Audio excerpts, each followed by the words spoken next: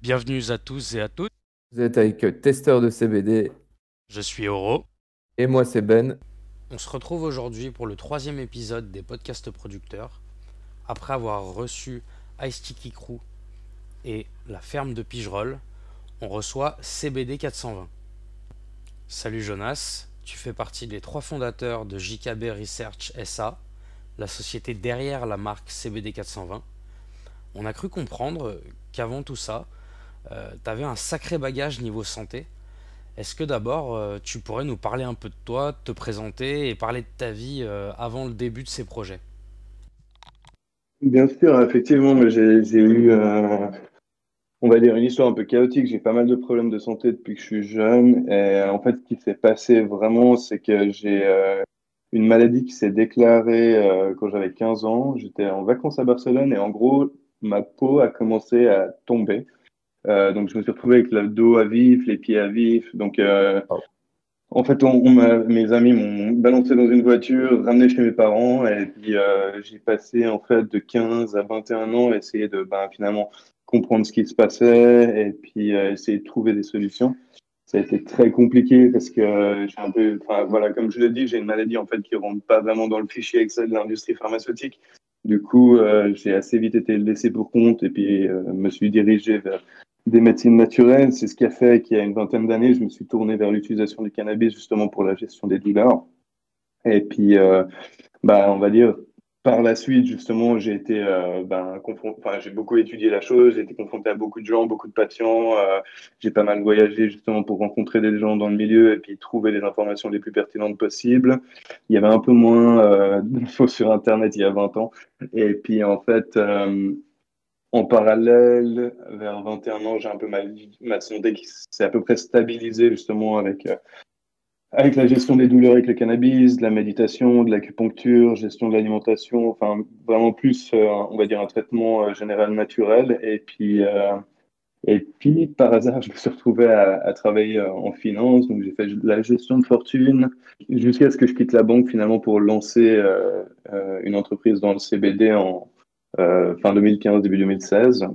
Euh, donc toi, ton entrée dans le monde du cannabis, elle s'est faite par la porte médicale ou tu avais un usage récréatif? Non, alors en fait, ce qui se passe, c'est que moi, j'avais, j'ai été euh, exposé au cannabis relativement tôt, donc j'ai fumé euh, de façon récréative, euh, étant enfin, relativement jeune. Et, et bah, alors quand ma maladie a commencé, je me suis retrouvé dans les hôpitaux, donc j'ai dû arrêter les études, je me suis retrouvé finalement un peu déconnecté du skate, de tout. Donc, je, je fumais Mhm. plus tellement, en fait, et, euh, et c'est par la suite, après avoir essayé, en fait, plein d'antidouleurs euh, à travers euh, les médecins, l'hôpital, et avoir, en fait, eu plein d'effets secondaires que, que un- une fois, j'ai revu un ami, j'ai fumé, puis, en fait, ça, ça m'a fait tellement du bien que c'est là que je me suis dit, mais, mais attends, peut-être qu'il y a quelque chose, en fait, d'autre, et, euh, j'ai arrêté en fait les, les différents euh, antidouleurs qu'on me prescrivait pour justement essayer de trouver quelque chose qui fonctionne avec le cannabis. Ce qui, est- ce qui était évidemment pas facile parce qu'il y a, y a aucun soutien médical. Euh, j'avais, on va dire, le, le soutien moral de, de mon médecin, mais légalement, il y avait rien qu'il pouvait faire au niveau produit non plus. Donc, j'ai vraiment dû euh, tâtonner pour, euh, pour, pour réussir à trouver un peu une, une façon de fonctionner. Comment vous en êtes venu, euh, toi et tes associés, à créer du coup euh, JKB et puis euh, CBD 420? Moi, ce qui s'est passé, c'est que, comme je vous disais, mon premier associé n'est pas très enclin de faire les choses dans les règles. Moi, je venais de la finance, je quittais euh, mon job dans la banque où je gagnais relativement bien ma vie. Et puis, c'est vrai que mon, objectif, c'était vraiment de pouvoir créer quelque chose de, de solide et de long terme, malgré justement, on va dire, l'instabilité ou l'incertitude y avoir dans cette nouvelle industrie, justement. Donc, euh, concrètement, euh, la stratégie que j'ai un peu imposée à mes associés, c'était de dire il faut qu'on ait les meilleurs produits de qualité possible. Euh, évidemment, ce qui est compliqué dans une nouvelle industrie où les gens commencent à développer ces produits, euh, il faut qu'on ait une transparence par rapport aux tests qui soient faits et puis il faut qu'on ait la meilleure communication avec nos clients pour qu'on puisse justement ben, les informer. Euh, ce qui est évidemment compliqué parce que dans notre univers, en fait, d'un point de vue légal, on a aujourd'hui un certain confort par rapport à la commercialisation des produits. Par contre, on, est en fait euh, relativement limité par rapport à la communication qu'on peut faire sur les bienfaits de ces, ces, dix produits, justement. Le fait d'avoir créé CBD 420 en 2016, ça fait de, vous des pionniers en fait. J'ai un peu du mal à, nous attribuer ce, mérite dans le sens où je pense qu'encore aujourd'hui, n'importe qui qui se lance est un, pionnier dans cette industrie. Il ne faut pas oublier qu'on a affaire à, une industrie qui n'est toujours pas réglementée. Hein. De façon inévitable, en fait, tout est à définir et il y a énormément, je dirais, de, d'incompréhension ou, de, ou encore de, je dirais, de questions qui ne sont pas euh, parfaitement répondues, ce qui fait qu'aujourd'hui, on a affaire à une industrie qui est relativement euh, bordélique, si vous me passez le terme, dans le sens où euh, aujourd'hui, on a des gens qui viennent un peu de partout, qui ne sont pas forcément conscients de, de, des produits avec lesquels ils travaillent, qui ne sont pas forcément intéressés non plus. Est-ce qu'il y a aussi un très fort... enfin, les, les, gens viennent beaucoup aussi pour l'attrait du gain. Hein. Donc c'est vrai qu'aujourd'hui, il faut, faut, faire la part des choses. Nous, on a une réelle stratégie. Euh, c'est vrai que moi, j'utilise le cannabis pour ma santé quotidiennement. Euh, j'ai commencé à traiter ma mère avec du CBD euh, très rapidement quand j'ai lancé ça.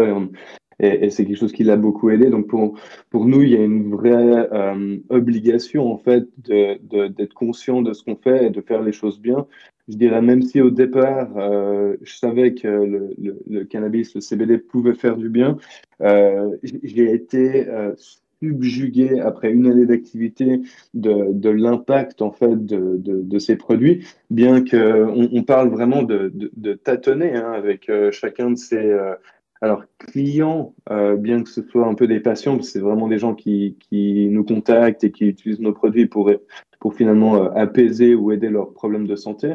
Et, c'est des gens finalement dont, dont la vie, le, confort quotidien a, radicalement changé grâce à l'utilisation de ces produits.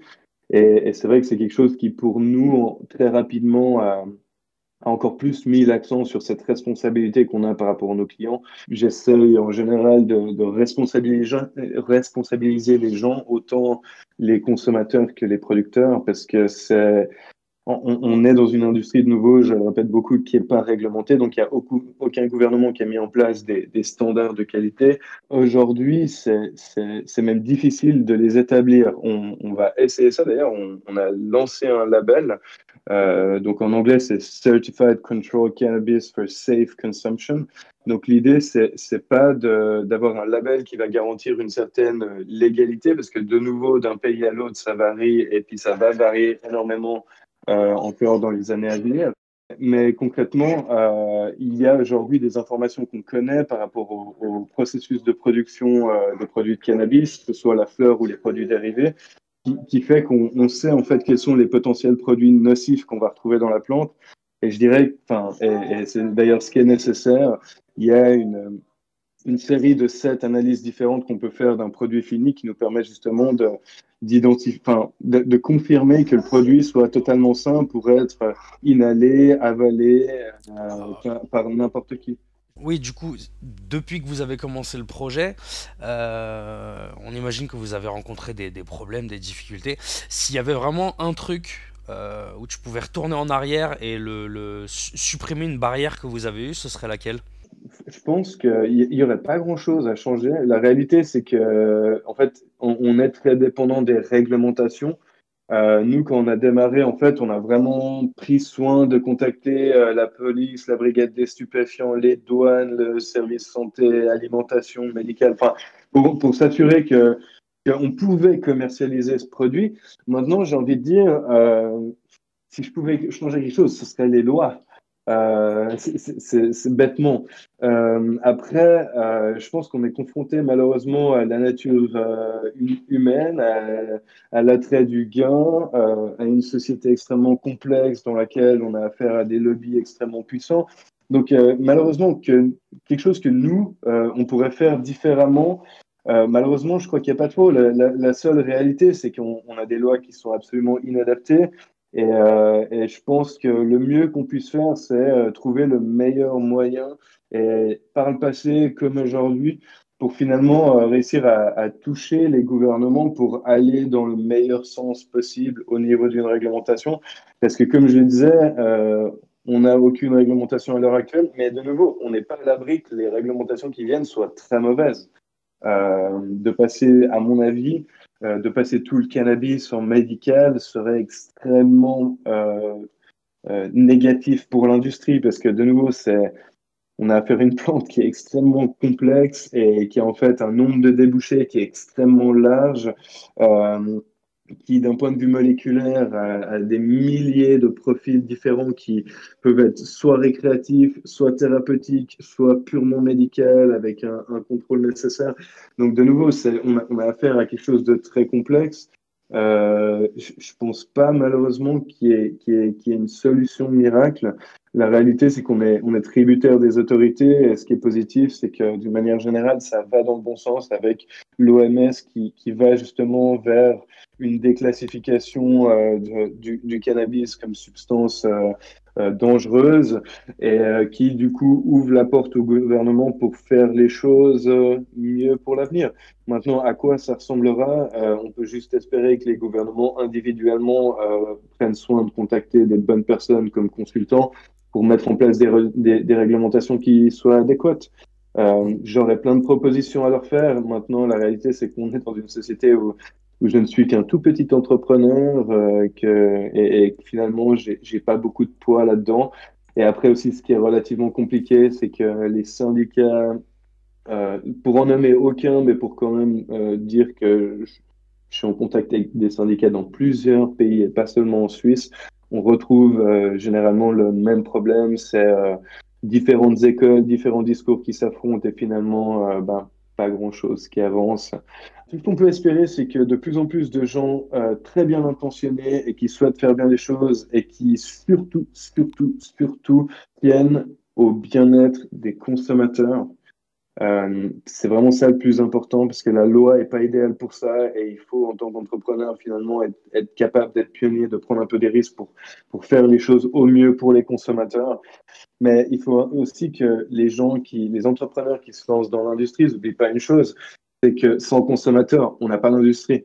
Donc euh, le fait de, de, se tirer des bâtons dans les roues et enfin de pardon de, de se mettre des bâtons dans les roues euh, en, en, justement mettant à disposition des produits de basse qualité, euh, ça fait que péjorer l'industrie qui a déjà pas besoin de ça et, euh, et derrière ça fait que euh, rendre notre mission de, de, créer de nouveaux consommateurs euh, encore plus difficile. Je pense qu'effectivement, quand on parle de CBD, n'importe qui de 0 à 99 ans, euh, peut, 99, euh, peut bénéficier des bienfaits du cannabis d'une manière ou d'une autre.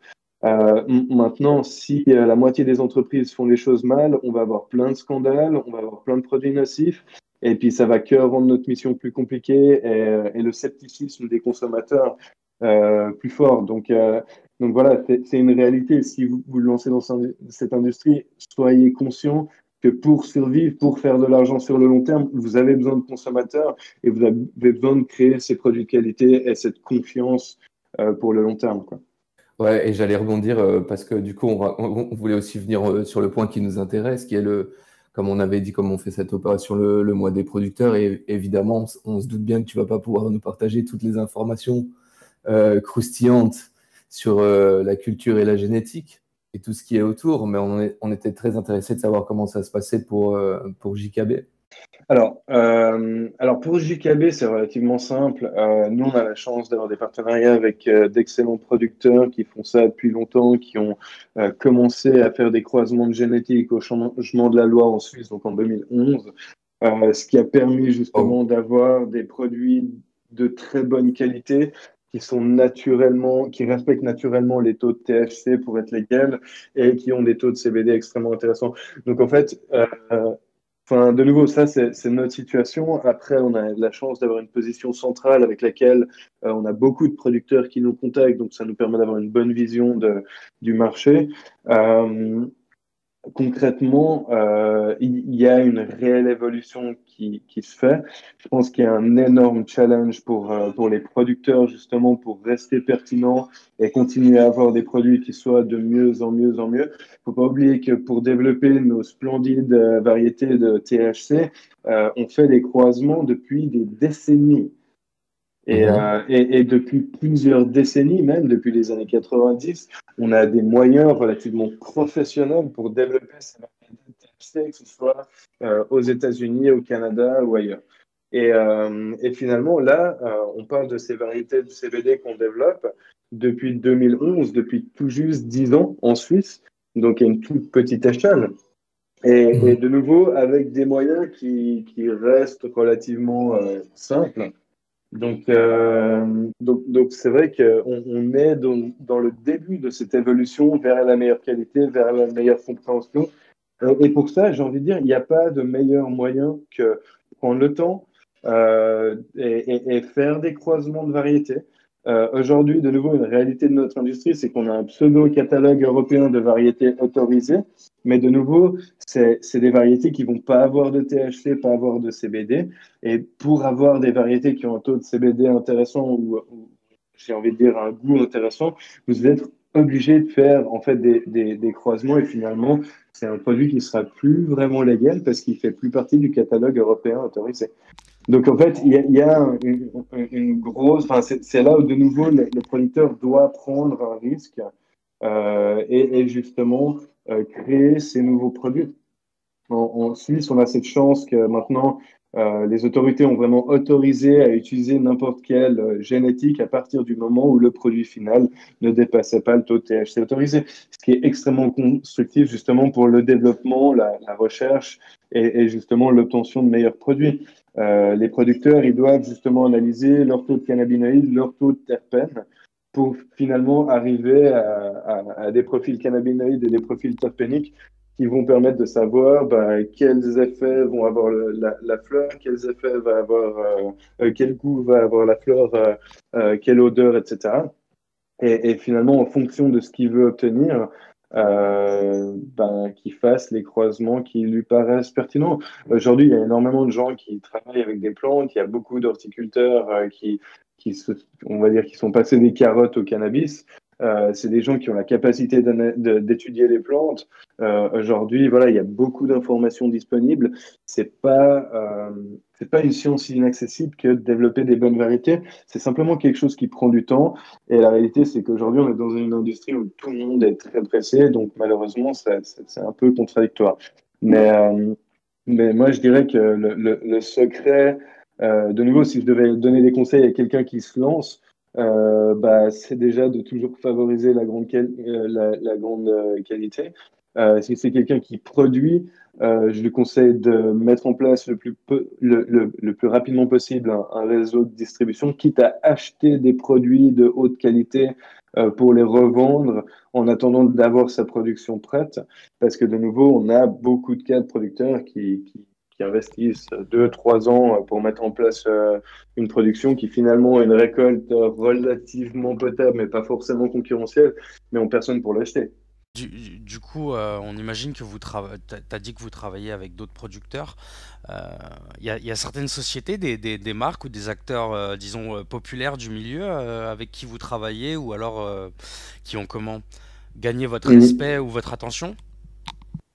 Alors, euh, d'une certaine manière, il y a, oui, il y a plein d'acteurs euh, dans l'industrie pour qui on a du respect. Euh, après, euh, je dirais que euh, on, on, est aussi tous des petits entrepreneurs avec nos petites entreprises à bosser 20 heures par jour, donc qui, qui, qui j'ai envie de dire, qui, des gens qui se font remarquer, j'ai envie de dire moyennement, c'est plus le fait que c'est une petite industrie, que si vous êtes sur sur les différentes euh, conférences, vous allez justement rencontrer un peu des gens à droite à gauche. Euh, j'ai assez confiance en, mes, instincts en général. Et puis c'est vrai qu'on trouve des gens qui essayent de travailler bien, des gens on voit tout de suite qui... Et, j'ai envie de dire, moi, je ne vais pas forcément juger sur le, produit ou la capacité de production, mais plus sur, l'attitude qu'on va avoir, euh, que, la personne va avoir et sur ses intentions. Après, euh, de, de, qu'il y, ait des entreprises recommandables, il y, en a évidemment. Heureuse, heureusement, euh, il y en a beaucoup dont il faut se méfier. Je pense qu'en tant que consommateur, c'est pas trop compliqué, dans le doute d'essayer de prendre contact avec la société ou, ou, de voir les, les, les, détails de contact et puis de se rendre compte finalement on a peut-être affaire à quelque chose de pas forcément très transparent. Donc, de nouveau, ça, se joue à tous les niveaux. Hein. Euh, après, euh, nous au niveau des producteurs, on favorise les tout petits producteurs. Ce qu'il faut savoir, c'est que le cannabis, comme le vin, c'est meilleur quand c'est fait avec énormément d'attention et dans des quantités relativement petites. Et, euh, et, et, ça, dès que vous passez en format industriel, vous perdez en qualité. Donc c'est sûr que nous, en fait, on, on, favorise le fait de travailler avec de nombreux petits producteurs euh, plutôt que de travailler avec des grandes entreprises. Alors justement, on, on parlait de, de, de, producteurs, de petits producteurs et de grands producteurs. Euh, on a souvent écho de, de gros noms de, de, banques de graines euh, de CBD ou de THC, mais genre euh, Zitronic, euh, Phenocan, euh, Seeds. Et d'ailleurs, on a, on a vu que votre catégorie graines de CBD sur votre site, elle est vide. Est-ce qu'un jour vous allez la remplir de vos propres semences ou celles d'autres breeders? Non. Bêtement parce que déjà, en fait, en Suisse, c'est pas vraiment légal de vendre des graines, euh, ni d'en acheter. Donc euh, ça, c'est un tout petit peu problématique. Maintenant, de nouveau, hein, on, est dans une industrie de pionniers et certains décident de prendre le, le risque, d'autres pas. Euh, nous, c'est quelque chose qu'on ne fait pas. Je vais peut-être rebondir sur autre chose, en fait. Euh, la, raison, c'est qu'on est dans une industrie qui est extrêmement complexe. Et euh, comme je vous parlais avant, on, a, lancé un, label, justement, euh, qui permet de contrôler certains produits. Les fleurs, la, biomasse, donc les fleurs qui peuvent être utilisées pour fumer ou faire des infusions, etc. La biomasse, qui est un produit qui est utilisé pour faire des extractions de manière générale. Justement, bah, le résultat de ces extractions, que ce soit des distillés ou des isolats, et tout ce qui est teinture, donc huile sublinguale, sont en fait des catégories de produits qu'on peut relativement standardiser et ce label de qualité euh, va permettre justement à, tous ces types de produits d'obtenir le label ou pas. Ce qui, euh, on l'espère bientôt, va permettre aux consommateurs d'identifier en un clin d'œil si justement l'huile le, ou la fleur a été suffisamment testée pour être garantie euh, euh, safe, désolé, pour la, pour la consommation c'est vraiment, euh, aujourd'hui, j'ai envie de dire, ce problème de, produits de qualité, de développement, etc., c'est quelque chose de permanent. Et, euh, et, finalement, il y, a toutes ces écoles. Et, ce qui se passe, c'est qu'on on est tous tributaires des graines, mais en réalité, les graines, c'est le truc qui n'est pas standardisable. Parce qu'on a justement, euh, comme je disais, on a ces, graines certifiées euh, qui sont celles qui viennent du catalogue européen donc Fedora, Finola, etc., qui vont donc pas a priori pas avoir de cannabinoïdes, donc ni CBD ni THC, euh, ou dans des quantités vraiment vraiment vraiment infimes. Et euh, ça, c'est les graines qui sont certifiées. Après, toutes les graines qui sont créées par justement ces breeders, etc., elles n'ont pas de réelle certification. Et c'est très compliqué de vendre ces graines à un producteur ou même à un particulier en lui garantissant euh, de façon sûre que son taux de THC, par exemple, ne dépassera 0,2% ou que son taux de CBD sera entre euh, 5 et 10%. Parce que de nouveau, on a affaire à une graine et que pour arriver au produit fini, en fait, ben, on est dépendant de, de, d'énormément de facteurs. Euh, les compétences du producteur, la qualité des sols, des eaux, de l'air, de, des, nutriments que le producteur va utiliser, euh, de la météo pendant la période, si c'est euh, des serres ou, ou, de l'extérieur. Donc finalement, euh, le, problème des graines aujourd'hui, c'est que c'est vendu avec des analyses euh, d'une récolte que le, vendeur a fait, mais en même temps, ça va rien garantir pour le mec qui achèterait ces graines. Donc en fait, c'est un produit sur lequel nous, on a un peu décidé, euh, donc ça c'est simplement notre décision, de ne pas forcément se positionner bêtement parce que de nouveau, on ne se sent pas à l'aise de le vendre à un client et euh, d'avoir l'impression d'être totalement transparent avec ce client. On perdrait trop de temps à devoir faire cette explication à chaque fois. Euh, donc le plus simple, c'est de, ne pas s'occuper de ce marché. Euh, on a une plateforme de trading dont qu'on va qu'on va updater très bientôt. Ça fait depuis septembre qu'on investit là-dessus. Normalement, d'ici quelques semaines, elle sera sortie. Ça s'appelle CBX Stock Exchange. Et justement, il y aura la possibilité d'enregistrer, de certifier, euh, même de faire des analyses. Euh, Aujourd'hui, il y a un très gros problème de nouveau. Alors, beaucoup de gens prétendent faire des analyses. Maintenant, ce qu'il faut savoir, c'est que les, tests sont tous plus ou moins fiables et que beaucoup de gens font des analyses eux-mêmes avec une, une, machine qu'ils ont achetée en ligne. Euh, alors, c'est pas quelque chose que, je veux dire, aujourd'hui, beaucoup de gens font ça. Nous, on va pas forcément le, critiquer, simplement, nous, on décide de ne pas faire comme ça. Euh, typiquement, pour le label, pour garantir euh, les taux, euh, il faut que les laboratoires soient au minimum certifiés ISO 17025, qui est, on va dire, un, niveau de standardisation relativement élevé qui permet, du coup, bah, de, garantir cette information sur le produit cannabis qui va être commercialisé. En fait, euh, on en parlait aussi, justement, comme je disais avant, il y a, les podcasts se font écho. Il y, avait plusieurs acteurs du marché qui avaient envie, comme ça, de. Le mot label ressort, ressort souvent, en fait. C'est une, solution, c'est une solution qui est assez souvent dans la bouche des, entrepreneurs qu'on, croise. Et euh, c'est intéressant. Ça fait partie des choses euh, qui, qui feraient, on a l'impression, en tout cas nous, euh, de notre côté, qui ferait avancer le mouvement vers le haut. Il y a ça, il y a ce que tu dis avec la plateforme de, trading qui, me semble assez intéressant, qui semble être un, des éléments aussi qui pourrait faire avancer le mouvement. Euh, avec Testeur de CBD, nous, on rêve de beaucoup de choses. forcément, on rêve de voir les acteurs euh, s'unir, de faire encore mieux, que ce soit en matière de produits, mais aussi pour euh, faire avancer le mouvement en général.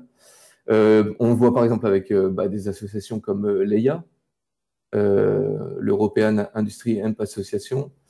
Est-ce que vous avez des choses dans, le tuyau, dans le tuyau? Est-ce que vous avez des, est-ce qu'il y a des choses dont tu as envie de parler euh, comme ça, ou des souhaits euh, pour, qui, qui fera avancer le mouvement euh, dans, dans, ce sens-là?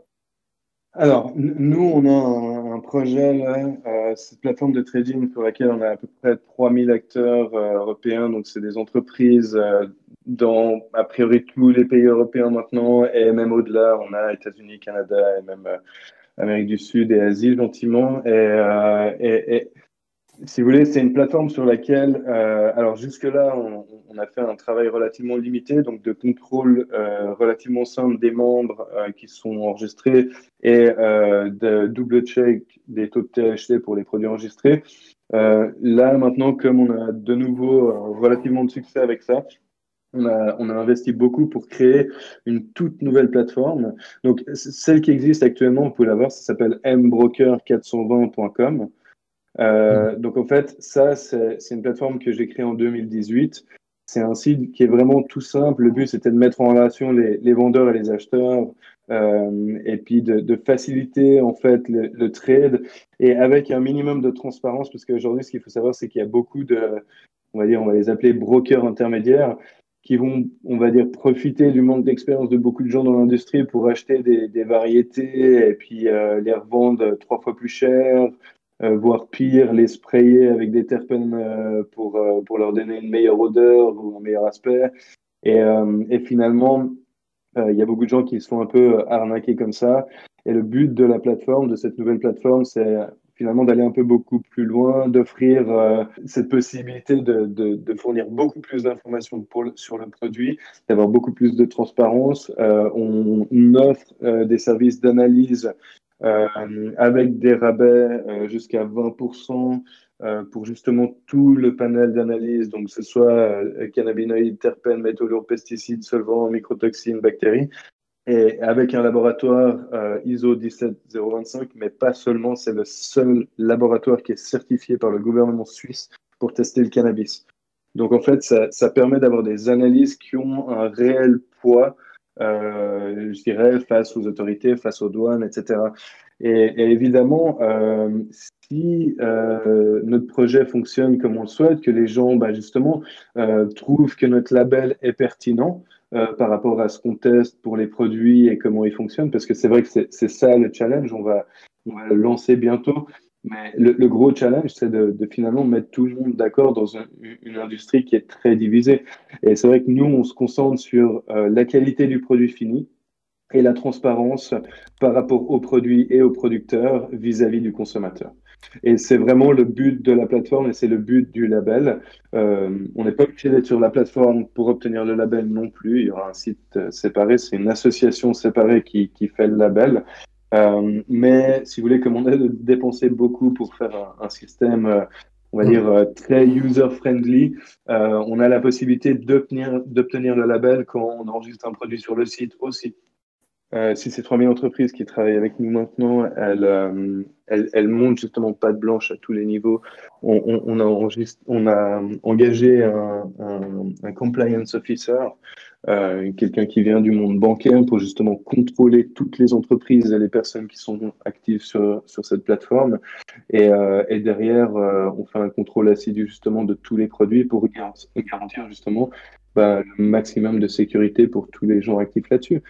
Euh, admettons que d'ici quelques années, nous ayons 10 euh, 000 entreprises qui soient parfaitement enregistrées avec des produits parfaitement certifiés. Ça donnera un réel poids euh, à l'industrie dans chaque pays, parce que pour nous, ce sera facile de dire, bah voilà, il y a, sur ces 10 000 entreprises, il y en a 3 000, il y en a 2 000 ou 3 000 qui sont en France. On peut facilement travailler avec des associations locales pour dire, mais regardez, on a 3000 entreprises qui travaillent selon ces règles, qui sont enregistrées euh, selon ces conditions, euh, qui, enregistrent, qui enregistrent et qui certifient et qui obtiennent des labels pour euh, tous leurs produits.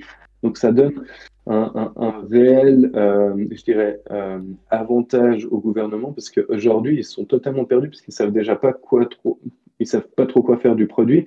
Puis derrière, ils ont pas vraiment l'idée de comment le réglementer, comment le taxer et, comment le catégoriser. On se plaît à croire que justement c'est une plateforme qui sera ex extrêmement accessible autant pour un simple producteur qui, qui fait ses petites productions lui-même que pour une grosse entreprise, voire une big pharma. Et, le but, c'est finalement d'essayer de créer nos propres standards pour l'industrie du cannabis. Moi, personnellement, je suis totalement contre Nouvelle Food. Je suis contre une inscription du cannabis dans, dans le médical, euh, je dirais, euh, en un instant comme ça. Pour moi, c'est en fait, il, il faudrait idéalement qu'on arrive à créer une réglementation à différents étages pour le cannabis, avec justement un marché totalement ouvert de produits cosmétiques et, CBD avec un taux de THC très bas. C'est pas forcément une priorité, mais il y a un marché, mais une industrie récréative avec justement ben, des contrôles de l'âge et des produits et des licences pour les entreprises actives et, euh, et une industrie aussi médicale. Mais de nouveau, euh, faire comme l'Allemagne, c'est une blague. Ce qu'il faut, c'est euh, former les médecins, former les infirmières, euh, former les pharmacies, ce qui n'est pas du tout fait hein, euh, dans la plupart des pays.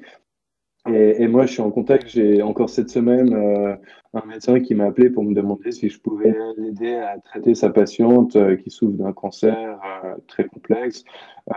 Et, de nouveau, c'est un médecin, c'est assez incroyable, mais c'est quelqu'un qui a une énorme réputation. heureusement, c'est quelqu'un qui est vraiment tourné vers le naturel et tout, et qui du coup est ouvert à travailler avec des gens comme nous, parce que ce qu'il faut savoir, c'est que le corps médical, d'une manière générale, refuse à, travailler avec les gens dans l'industrie euh, du cannabis, bien qu'il y en ait beaucoup comme moi. Euh, alors, ça représente un petit pourcentage, malheureusement, je pense, mais il y, en a, il y en a beaucoup comme moi qui sont des gens qui se sont lancés parce que eux-mêmes ou des gens de leur famille ont des problèmes de santé euh, pour lesquels le cannabis pouvait être bénéfique et qui ont du coup créé une entreprise avec cette passion et cette volonté justement d'apporter des produits qui aident les gens je suis au Portugal, mais c'est pas du tout le même, son de cloche. Euh, les médecins, les vétérinaires, euh, la parapharmacie, euh, ils sont tous à bloc, ils attendent que ça, quoi. C'est clair et net. Pour certains, ils testent en secret déjà, je pense aux vétérinaires. Dans les blocs opératoires, ils sont tous au CBD. ils ont dit on n'a pas de meilleurs résultats avec une autre molécule en post-opératoire pour les cancers le, diabète des chats, des trucs comme ça. Donc euh, eux, ils attendent que ça, quoi. Ils le disent clairement. Mais bon, le Portugal, ils sont un peu, ils sont dans, un, dans une autre dimension. Alors, de, nouveau, les, consommateurs, ils sont très tributaires de l'information. Et aujourd'hui, ce qui est très triste et ce qu'ils ne se rendent pas forcément compte, c'est qu'il y a énormément d'articles qu'ils vont trouver dans les médias ou sur Internet qui sont en fait des articles qui sont payés par les entreprises qui cherchent à se faire de la pub. Du coup, l'information, est relativement biaisé. Et c'est là que ça devient en fait euh, très compliqué parce que, euh, parce que finalement les gens ils vont se baser sur des articles qui vont dire euh, tout ça c'est blanc et ça c'est noir, alors qu'en fait le cannabis c'est un peu plus gris que ça. De nouveau, c'est pour moi on a vraiment ouvert mmh. une boîte de Pandore. Euh, c'est sûr qu'à l'époque on parlait de Indica, Sativa, Indica ça ressemble à ça, ça a plutôt cet effet. Ça ressemble plutôt à ça et ça a plutôt cet effet. la réalité, c'est que depuis qu'on a ces profils moléculaires cannabinoïdes, profils moléculaires terpéniques, et puis qu'on est conscient du système endocannabinoïde dans le corps humain, je veux dire, c'est juste inévitable qu'on a affaire à quelque chose de bien plus complexe que, que, juste deux variétés euh, d'une plante euh, qui, euh, qui peut vous aider. Quoi. Donc maintenant, la question, c'est comment on va faire pour vraiment avoir les moyens pour comprendre l'interaction entre le corps humain et puis, et puis la plante, et puis comment on va faire en sorte d'avoir justement des plantes qui correspondent vraiment aux, besoins, autant thérapeutiques, médicaux que récréatifs. Voilà, pour moi, on est dans une industrie avec beaucoup de points d'interrogation. Et ce qui est important, de nouveau, en tant qu'entrepreneur comme en tant que consommateur, c'est de rester relativement sceptique, de se poser des questions, de faire appel à son bon sens, et puis de se renseigner et de pas hésiter à, demander des, seconds avis. Quoi. Tu as complètement raison dans ce que tu dis. Euh, pour rebondir et pour en revenir euh, bah, à CBD 420, euh, votre catalogue, il a toujours été hyper bien fourni. Moi, je, vous suis depuis, depuis vos débuts. Et quand on regarde la totalité des variétés que vous avez pu faire, enfin, moi personnellement, je, suis souvent, j'ai souvent l'eau à la bouche en voyant tous les noms de variétés que vous avez fait. Euh, vous êtes constamment en train de travailler sur des nouvelles variétés. Vous, recherchez toujours des nouveaux produits à intégrer au catalogue ou pas? Alors, je vais casser un mythe. Euh, comme, franchement, c'est c'est peut-être pas très bon marketingment pour CBD 420 mais ça l'a arrêté pour toutes les autres marques. Et c'est la réalité dans le monde de, des, variétés THC mais les noms de weed s'il vous plaît quoi. Ça n'a aucun sens quoi. Après les variétés oui c'est une chose. On a des profils terpéniques justement. Donc on a vraiment des, des, plantes qui vont avoir euh, des, des taux très intéressants de cannabinoïdes et puis justement des bons goûts des bons effets. Une réelle plante de qualité après, il faut faire attention avec les noms. Hein. Ce qu'il faut bien se rendre compte, c'est que les noms qui sont utilisés dans l'industrie du CBD, il n'y en a aucun qui a du sens, parce qu'en fait, comme c'est des croisements de plantes CBD, ça peut presque, ça, peut presque pas avoir de lien direct avec une variété THC. Euh, ça fait presque aucun sens. Maintenant, c'est quelque chose qui est fait parce que l'idée, c'est qu'on va dire, ah, bah, elle a plutôt ce goût, cette odeur, ça ressemble à cette variété THC, du coup, on va l'appeler comme ça. Mais en réalité, ce serait beaucoup plus intéressant de se pencher sur ces profils cannabinoïdes et terpéniques, comme on a commencé à, les mettre justement sur l'Instagram de, de, CVD 420, pour justement avoir une compréhension plus précise euh, et après, de nouveau, euh, la, question euh, pourquoi, comment on a autant de variétés de bonne qualité? Parce qu'on travaille avec beaucoup de petits producteurs. Donc on n'a pas forcément des variétés pour lesquelles on a 150 kilos, mais on a plein de fois 30 kilos de très très bonnes variétés. Et de nouveau, c'est une stratégie d'opter pour justement. Alors, c'est aussi toute une éducation à faire auprès du consommateur, de lui expliquer que un produit est disponible le temps que, enfin voilà, la récolte est faite jusqu'à ce qu'il n'y en ait plus. Mais une fois qu'il n'y a plus, bah, on n'a même pas de réelle garantie que la prochaine récolte sera identique. Naturellement, c'est pas possible. Vous ne pouvez pas avoir deux récoltes qui sont 100% identiques. Après, vous pouvez travailler avec des plantes mères, mais vous allez quand même avoir une dégradation d'infime pourcentage. Mais d'une manière générale, c'est quand même une variation du profil génétique de la plante. Comment tu expliquerais le, fait que, bah, du coup, là tu nous as parlé des fleurs, mais euh, on a vu que niveau H, ou même encore côté liquide euh, sur le catalogue CBD 420, il n'y a pas grand chose. Comment ça se fait? Parce que, de nouveau. J'aime pas prendre des chiffres, donc euh, de nouveau, n'importe qui qui entendra cette phrase, ne le prenez pas comme une attaque, j'attaque pas c'est plutôt un souci général euh, dans l'industrie, c'est que je pense que malheureusement, il y a aucun, euh, y très peu de produits de qualité, voire il y a potentiellement des produits qui sont dangereux. Dans ces, dans ces... Déjà, moi, j'ai un gros problème avec le fait de vendre des liquides en disant que c'est quelque chose de sain, comme une alternative à la cigarette. Non, on n'a pas de recul, on ne sait pas, ça se trouve, les gens vont commencer à avoir des bulles dans les poumons dans 15 ans, et puis de nouveau, pour moi, il y a, un manque d'honnêteté et de transparence et il y a un abus de confiance du consommateur. Donc, en fait, nous, on, a eu ces produits au début parce que, en fait, ça faisait partie des rares produits connus pour lesquels il y avait une demande et puis qu'il fallait bien qu'on survive. Après, euh, après avoir fait des analyses des produits qu'on achetait, on s'est rendu compte qu'en fait, on voulait plus avoir de ça. Et les haches, malheureusement, c'est un peu la même chose. C'est que vous n'avez pas envie de savoir ce qu'il y a dans les haches. Et nous, on fait justement de nombreux tests. Et, je vous jure, les gens n'ont pas envie de savoir ce qu'il y a dedans. C'est une catastrophe ce qui est fait à, l'heure actuelle. Il y, a, vraiment très peu de produits qui, qui vont avoir aucun produit euh, nocif à l'intérieur. Ouais, les, les, produits sont souvent euh, soit, soit, modifiés, euh, soit il y a des ajouts de terpènes. moi, j'ai même vu des, des, des haches infusées dans de l'huile, alors que l'huile ne se fume pas. C'est une vraie blague, quoi. Non, non, c'est une catastrophe. Il y a, de nouveau, j'ai fait un article dans Euronews par rapport à ça, parce qu'on, enfin, d'une manière générale, on, on, on, va faire face à un énorme problème sanitaire, en fait, dans le, dans le, dans le monde du cannabis, parce qu'on a énormément d'entrepreneurs qui ne savent pas ce qu'ils font, qui se lancent, qui mettent des produits sur le marché. On a plein de consommateurs qui ne savent pas finalement identifier un bon produit. Donc, euh, au, final, ça devient compliqué pour, euh, pour tout le monde, quoi. Donc, euh, donc c'est on, a déjà eu le cas avec ces cartouches, ces vape pens là, où finalement bah, il y a des gens qui sont même décédés quoi. Donc je veux dire aujourd'hui, je pense que le, jeu en vaut pas la chandelle, que c'est des produits qui sont encore pas forcément bien connus. Puis le jour où on sera vraiment tranquille par rapport à ça, nous on se positionnera, on, se positionnera dessus.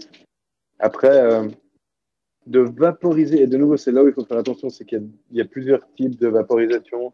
Il y a, les liquides, il y a ces cartouches, euh, il y a aussi la vaporisation avec un volcano. Euh, donc, il faut faire très attention parce que effectivement, la vaporisation avec un volcano est, euh, je dirais presque avec zéro risque. en termes d'inhalation, il n'y a pas de combustion, il n'y a, pas de problème. Maintenant, les vape euh, ces huiles qui se font vaporiser, etc. Je ne suis pas sûr à 100% que, que ce soit quelque chose qui, soit bon sur le long terme. L'avenir nous le dira. Euh, moi, je fais, je, fais partie des gens prudents qui préfèrent dire hum, dans le doute, je sais pas, je vais pas prendre trop de risques avec ça.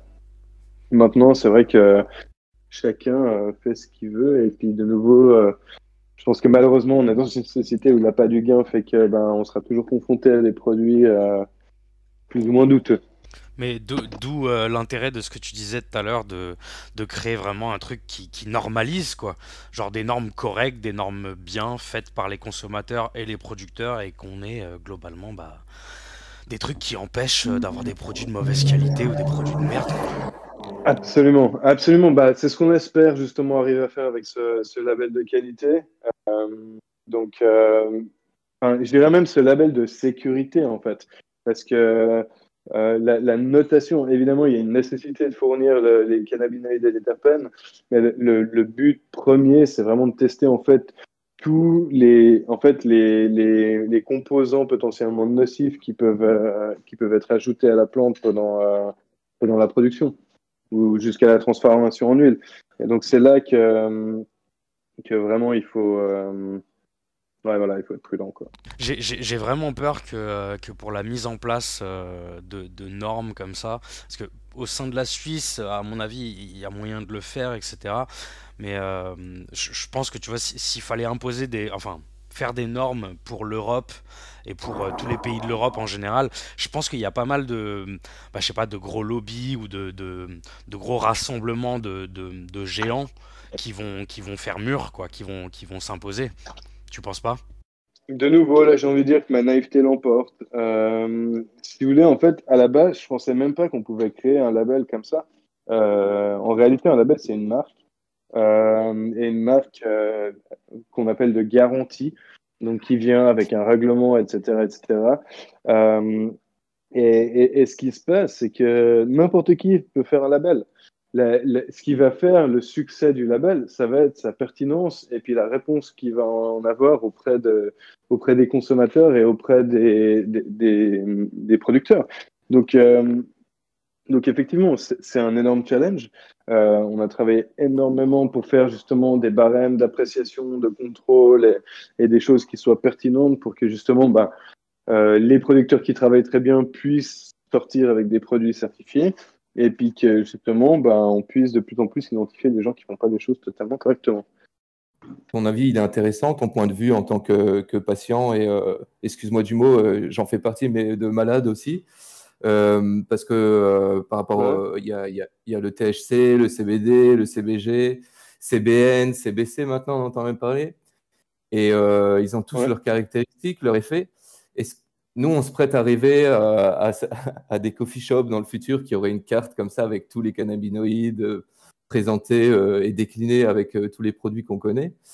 Est-ce que, est que vous croyez à un avenir de, de ce genre-là? Est-ce que, est que vous pariez sur certaines molécules? Aujourd'hui, je pense que c'est trop tôt. Je pense que clairement, la molécule qui a montré le plus de promesses à l'heure actuelle, c'est le CBD.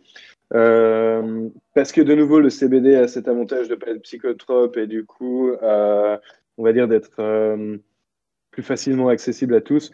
Maintenant, ce qu'il faut savoir, c'est que en fait, oui, effectivement, je pense que 2021 va être l'année du CBG.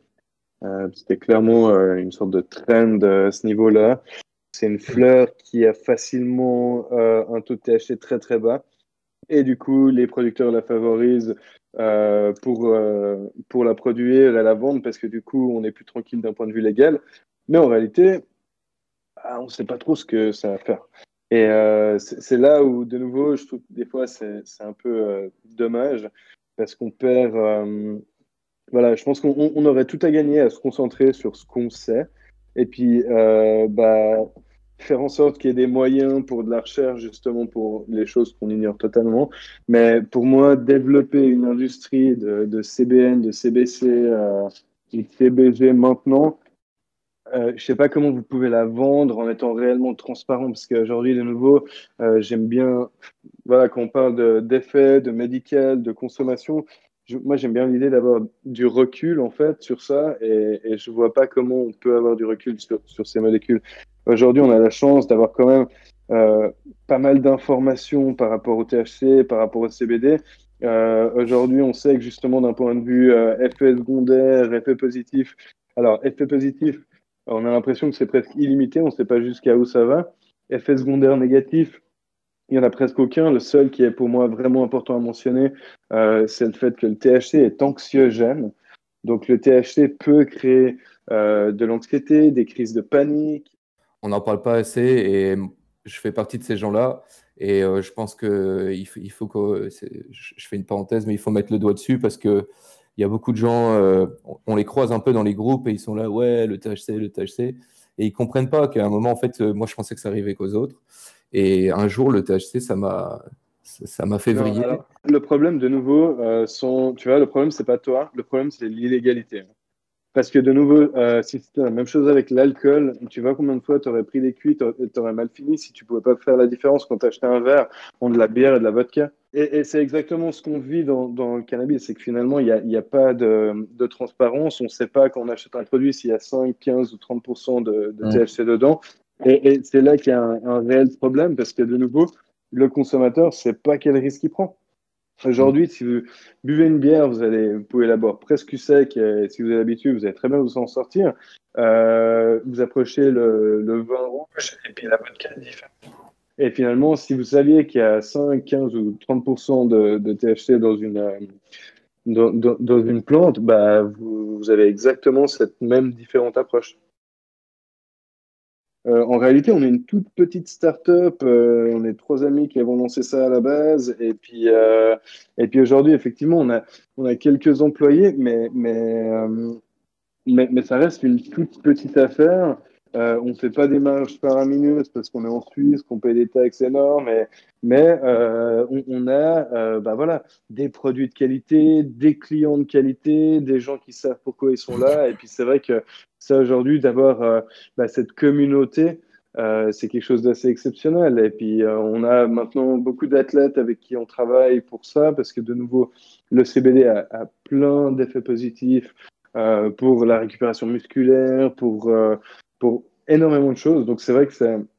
Voilà, j'ai envie de dire. Euh, je ne sais pas jusqu'à où vous voulez faire cette interview, mais euh, tu, vois, tu vois, du cannabis, on, pourrait en parler pendant des jours et des jours. Euh, je dirais, voilà, pour parler des, des, producteurs, de la qualité et tout, j'ai l'impression d'avoir un peu fait le tour. De nouveau, j'ai envie de dire, responsabilisez-vous, quoi. vous voulez faire les choses, soyez conscient que vous prenez des risques. Produisez du cannabis, vous voulez consommer du cannabis. C'est quelque chose qui a été illégal pendant très très longtemps et aujourd'hui ça l'est toujours, faut pas l'oublier. Et en fait, on a juste une gamme de produits qui, qui échappe un peu à la règle, mais finalement, ça, ça, nous fait pas nous échapper à la règle. Il faut faire attention, quoi. Et, euh, et de nouveau, je pense que, alors moi, j'approche les choses comme ça, c'est que conscient de, de, contrôler de façon euh, très sérieuse tout ce qu'on fait, tous les produits qu'on commercialise, euh, bah, je sais que voilà, on n'est jamais à l'abri, comme tous les gens qui importent de, l'herbe, enfin même les magasins hein, qui vont importer en France. On a eu plusieurs cas euh, par le passé où voilà, la plante est saisie, enfin la, commande est saisie et, et finalement c'est tout un travail de devoir récupérer, mais de nouveau c'est un travail qui est important. On a besoin d'être euh, en contact avec les autorités, avec les douanes, et puis leur montrer qu'effectivement, regardez, euh, c'est un produit qui est en ordre, il est testé, il est bon, euh, c'est pas un trafic de stupéfiants, etc., etc. Et voilà, c'est, je dirais que prenez le temps de faire les choses bien, autant au niveau de, de l'étude des informations que du développement de vos produits, et puis, et puis normalement, si tout le monde fait les choses correctement, même financièrement, tout le monde va s'en sortir bien à la fin. Je pense que le Covid, il est plutôt euh, favorable euh, pour, au, cannabis, moi. Je pense qu'il a accéléré, il a accéléré beaucoup de choses qui allaient arriver. Il a fait, il a fait que son, les, beaucoup de questions, de débats et tout ça, il a fait, qui, qui devaient arriver, sont arrivés plus rapidement à cause de la situation et de l'utilisation qui était possible de faire du cannabis à ce moment-là avec l'anxiété grandissante de la population. Et du coup, euh, enfin, moi, je pense que c'est plutôt positif. Ouais, je sais pas. Moi, je, reste malheureusement. Alors, ça, c'est un des trucs où normalement ma, naïveté, mon optimisme l'emporte. Mais, euh, mais, mais, là, d'un point de vue politique, je dois dire que depuis plusieurs années, je bosse avec des syndicats et puis avec des gens qui essayent de faire bouger les choses, justement. J'arrive à un stade où je me sens extrêmement frustré. J'ai l'impression que finalement rien n'avance. Vous voyez des articles toutes les semaines de tel gouvernement, tel département qui a parlé de ci, de ça, d'avancer. Mais au final, c'est la même chose depuis 20 ans en réalité. Ça fait, ça fait depuis toujours qu'il y a une discussion par-ci, il y a une discussion par-là. Maintenant, la différence, c'est que quand il y a une discussion quelque part, il y a 40 médias du cannabis qui vont reposter l'information comme si c'était quelque chose de vérifié. De nouveau, c'est un des gros problèmes de, de, l'information à notre époque, c'est qu'est-ce qui est réellement pertinent, qu'est-ce qui est vrai. Et, et c'est vrai que par rapport à ça, moi, j'ai envie de dire, j'ai mon, mon baromètre de scepticisme qui est vraiment euh, totalement en haut parce que j'ai pas l'impression que, que, vraiment on va aller dans le bon sens. Même si, de nouveau, on voit régulièrement des, des nouvelles à ce niveau-là.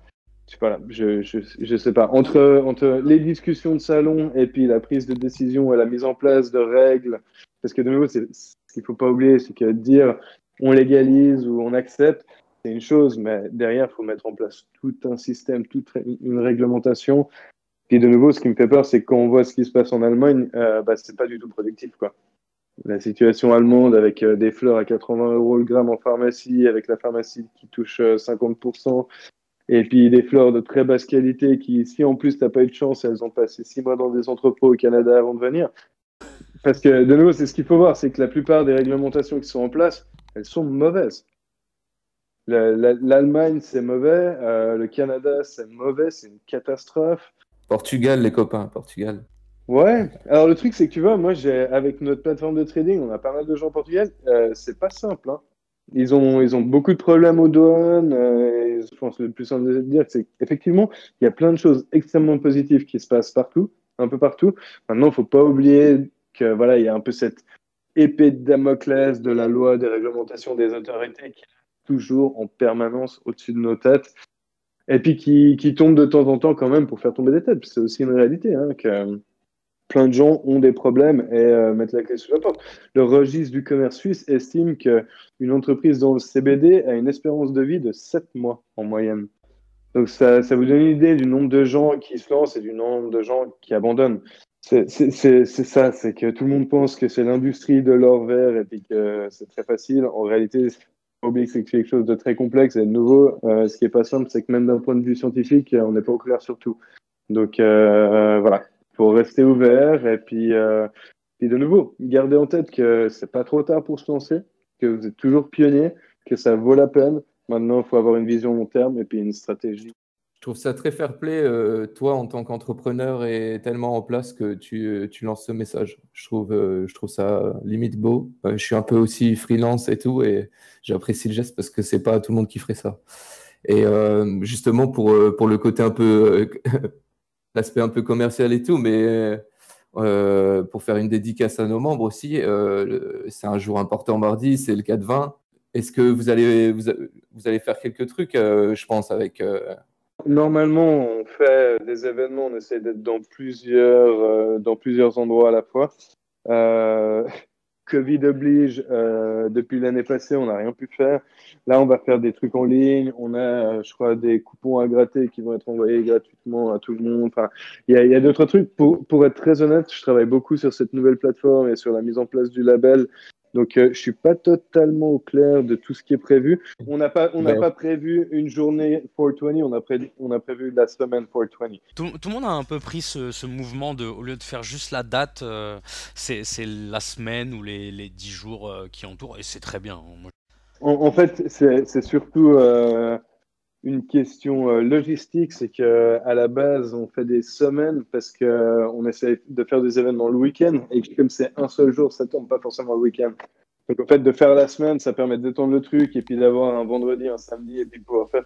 Sinon, on a fait plusieurs événements avec VAR, on a fait d'autres événements à Paris avec, euh, justement le syndicat du change. Donc dans, dans le but, bah, justement, de promouvoir, d'exposer les gens et puis de et puis de se présenter un peu, quoi. Non, et puis c'est aussi plus sympa. Enfin, moi, c'est quelque chose qui me manque beaucoup. Je suis plutôt euh, quelqu'un de sociable. Et puis c'est vrai que je me réjouis de pouvoir euh, faire des trucs comme ça. Maintenant, euh, bah, voilà, on est, en on, est en on est en télétravail à la maison avec les enfants. Et puis bah, on fait au mieux avec ça, quoi. Dans le dernier podcast, il y a Jérémy de la ferme bio de Pigerolles. Il nous a fait rêver avec une fleur cristallisée au sucre, tu sais, qui fait revenir dans le sucre séché, comme ça. Euh, les édibles, c'est un truc qui plaît beaucoup. Enfin, ça a toujours été euh, une bonne combinaison avec le cannabis. Et toi aussi, en tant que bah, patient, euh, c'est une, solution qui est assez plébiscitée pour les gens qui ont des, symptômes ou qui traitent la douleur. Est-ce que c'est quelque chose que, parce que là, pour le coup, vous pouvez travailler en naturel, comparé peut-être au H ou comme tu disais avant, où c'est plus compliqué. Est-ce qu'on peut attendre CBD 420 sur un, un virage comme ça? Euh, ce qu'il faut savoir, c'est qu'en fait, en Suisse, les autorités alimentaires se sont rendues compte qu'il y avait tellement de produits euh, de mauvaise qualité, voire potentiellement dangereux, qu'en 2019, ils ont interdit tous les, produits euh, cannabis alimentaires. Typiquement, nous, notre huile, si vous êtes en Suisse, vous ne pouvez pas l'acheter sur notre site. Vous êtes, on, on, on, y va en Europe, mais pas en Suisse. Le problème, c'est la qualité des produits, c'est comment les produits sont faits. Avec l'alimentaire, ça devient vite problématique j'ai été très surpris quand j'ai entendu ta phrase au début, parce que quand tu as parlé de sucre, tu vois, genre en fait, ce qu'il faut savoir, c'est qu'à la base, nous, euh, dans, dans, le marché euh, illégal en Suisse, il y a plusieurs années, on avait eu un scandale parce que justement, les dealers mettaient du sucre sur leur, euh, leur pour, euh, pour donner plus de poids. Et, ce, qui est, ce qui est très mauvais à fumer, en fait. C'est très mauvais de fumer du sucre. Donc, euh, donc justement, j'étais un peu surpris, mais là, tu dis que c'est un produit qui fait pour être mangé, par contre. Ouais, c'est comme quand tu cristallises, tu peux le faire avec euh, des fleurs de rose aussi, tu sais, c'est plus un truc de pâtisserie en fait. Ok, ok. Ah oui, oui, je vois les fleurs de rose, ok. Du coup, ça, ça cristallise, elle devient comme du cristal, comme du, tu, tu la croques et ça devient, c'est un bonbon quoi. De nouveau, tu vois, non, on n'est pas du tout à se pencher sur, euh, sur l'aspect alimentaire. Moi, personnellement, au niveau de l'effet, euh, ce qui se passe, en fait, c'est que les produits cannabis, que vous les utilisiez pour, euh, en, en, en, mangeant, en buvant, en fumant, euh, les, les, effets que vous pouvez espérer sont relativement similaires. Ce qui est, ce qui est pour moi très différent, c'est l'effet presque instantané que je vais avoir en fumant, avec les douleurs que j'ai, en fait, tout d'un coup, en général, ça me prend et c'est très handicapant. Et du coup, euh, en général, ce que je fais, c'est que j'ai toujours euh, un joint prêt, j'essaye, des fois pas. Mais euh, en, en, général, 3-4 lattes suffisent pour me soulager. Pour moi, avec l'alimentaire, alors l'huile sublinguale peut mieux fonctionner, mais, mais après, tu vois, avec les produits que tu avales, c'est. Enfin, de nouveau, moi, je vais Tu vois, en plus, avec le THC, le truc, c'est que moi, je, fonctionne avec euh, des produits qui sont pas forcément légaux. Euh, et, et, en réalité, ben, j'ai pas la transparence dont j'aurais besoin pour pouvoir être vraiment le plus précis du monde euh, avec mon traitement. Donc, en fait, pour moi, le plus simple, c'est vraiment, euh, bah, quand j'ai mal, je prends une latte. C'est pas assez, j'en prends une deuxième. C'est pas assez, j'en prends une troisième. Et, et à chaque fois, j'attends un petit peu pour voir comment ça réagit jusqu'à ce que jusqu'à ce que je sois soulagé. En général, ça dure une demi-heure, trois quarts d'heure, et puis je repense. Tu vois, les, les ça va être une grande question parce que le truc que je voulais dire avant, c'est que par rapport aux lois, moi, je suis vraiment contre une nouvelle food. Euh, de nouveau, c'est c'est pas acceptable qu'il fasse, il fasse, il faille attendre euh, trois ans et dépenser un million d'euros pour pouvoir commercialiser un produit. Euh, il y, a, y, a, plein de, de, produits à base de cannabis qui peuvent être extrêmement bénéfiques pour euh, les consommateurs, fait euh, de façon très très simple. Et, et de nouveau, c'est là où il faut pas oublier qu'on a un produit naturel qui était, qui était utilisé il y a 3000 ans en Chine. Euh, c'est pas une nécessité absolue d'avoir des labos à 15 millions d'euros pour pouvoir euh, pour, pouvoir justement euh, euh, produire ces, ces, ces, produits à base de cannabis. Donc euh, il faut voilà. Moi j'espère qu'on aura droit à une, à une industrie basée sur le naturel, et, euh, et, justement quelque chose qui se rapproche plus euh, de la naturopathie, de l'homéopathie que, que, de la médecine moderne, comme on l'appelle euh, actuellement. Est-ce que tu aurais quelque chose à rajouter malgré tout ce qu'on a déjà dit, un coup de gueule, un disclaimer peut-être? Non, coup de gueule pas. Je pense que de nouveau, il faut être conscient qu'on est dans une industrie qui est complexe. Euh, J'ai envie de dire, pour tout le monde, autant les patients qui espèrent trouver de l'aide et des produits que pour les entrepreneurs qui se lancent et qui souffrent. Euh, franchement, il faut y croire. Euh, ça va aller dans le bon sens. Maintenant, c'est sûr que c'est, on est tous des pionniers. On a meilleur temps de justement trouver les gens qui veulent travailler dans le même sens pour s'unir nos forces et pour faire ça le mieux possible. Donc pour moi, c'est ça. Ce serait plutôt un message euh, bah, d'unité à tout le monde euh, dans l'industrie. Genre, euh, franchement, prenez le temps de vous renseigner, faites les choses bien. Si vous, si, si vraiment vous vous avez de la passion pour vos patients, pour vos produits, euh, les deux vous le vendront et puis euh, vous en sentirez très bien. Et puis, euh, bah, du coup, bah, on, a, on, on arrive au bout. Hein. En tout cas, bah, merci de votre intérêt et, euh, et je me réjouis d'en faire d'autres si vous avez d'autres sujets que vous souhaitez aborder. Comme on a dit euh, sur Testeur de CBD, il y aura sans doute euh, d'autres mois à thème. Euh, donc, dès que le thème se prête au jeu, on sera ravi d'entendre ton point de vue et ouais. merci, encore, merci encore pour ton temps. N'hésitez pas. Je vous souhaite un, un excellent week-end. Et, et, chapeau à tous ceux qui ont, qui ont tenu jusqu'à maintenant pour nous écouter. Et merci. il y en aura, il y en aura. Excellent. Allez, merci à toi, merci tout le monde. Et puis, bah, on se retrouve pour le dernier épisode des podcasts producteurs la semaine prochaine.